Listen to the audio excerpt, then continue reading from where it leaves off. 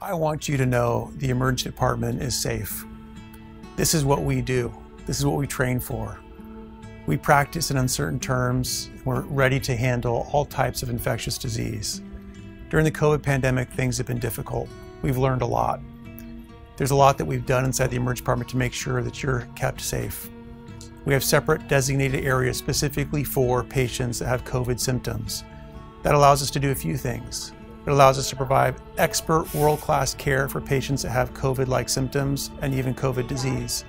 It also helps us keep those that don't have COVID disease to be completely safe. It's a separate air supply, it's a separate physical space, separate equipment.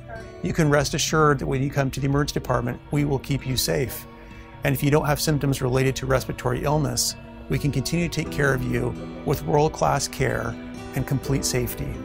Welcome back to the Emergency Department at St. Joseph's Medical Center.